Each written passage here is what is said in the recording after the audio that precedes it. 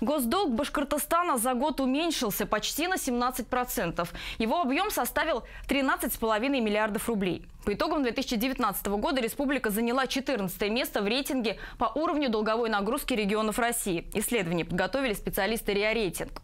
Отношение госдолга Башкортостана к доходам его бюджета по итогам 12 месяцев составляет чуть более 9%. При этом на те же 9% сократились и поступления в республиканский бюджет.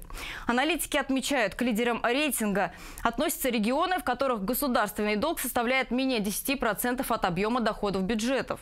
Из субъектов Приволжского федерального округа под эти параметры попадает только Башкортостан. Ближайшие соседи по ПФО – Пермский край, он 17-й, Татарстан – 43-й, а в Сахалинской области и Севастополе государственный долг отсутствует. Также среди лидеров Москва и Тюменская область.